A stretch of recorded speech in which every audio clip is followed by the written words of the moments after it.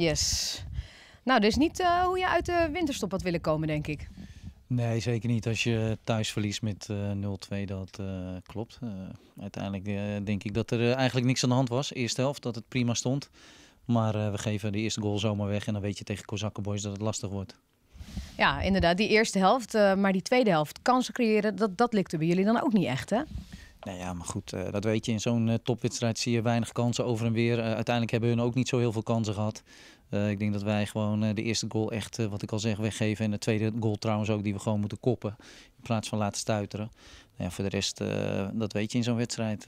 als het 0-0 blijft, kan het misschien nog alle kanten op. Uiteindelijk weet je ook dat, dus dat je 1-0 achterkomt. Dat het moeilijker wordt tegen hun. Uiteindelijk met 2-0 helemaal. Ja, scherpte achterin, daar schort het dus aan vandaag? Nou ja, goed. Ik vond onze rechterkant wat minder ook. Sowieso de eerste helft al. Maar ik denk dat we daarin gewoon de wedstrijd wel veel meer onder controle hadden. En uh, weinig tot uh, geen probleem hadden. Dus, uh, maar dat kon wel beter. Dat we in de rust aangegeven. Maar ja, dat je dan door zo'n ingooi tegen 1-0 achterkomt, dat mag gewoon niet. Dit is, je staat hier dus met een nederlaag. De competitie ligt open. Dit is ook precies waar je het van tevoren over had. Hè. Dit soort dingen kunnen dus gebeuren. Het is nog lang niet gedaan. Het is nog lang niet gedaan. De competitie ligt uh, sowieso open. En uh, ik irriteer me sowieso al mateloos aan mensen of supporters of wat dan ook... die alleen maar roepen over kampioenschap. Ik bedoel, ik vind het prima. Dat moet je ook willen als uh, supporter of, uh, of ja, zeg maar als supporter en, of als mens, maar en als speler ook. Maar elke keer die vragen erover. het slaat helemaal nergens op. We zitten nu op de helft van de competitie en er is nog van alles mogelijk. Ja, gewoon even normaal doen. Nou ja, goed. dat probeer ik constant tegen mijn spelers wel te zeggen. Ja.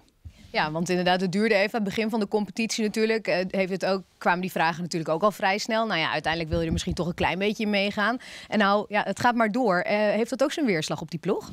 Nee, goed, dat denk, ik, uh, dat denk ik helemaal niet. Wij, wij proberen daar met de ploeg natuurlijk over te praten. uiteindelijk dat ze daar goed mee om moeten gaan en dat die, dat die vragen misschien blijven komen.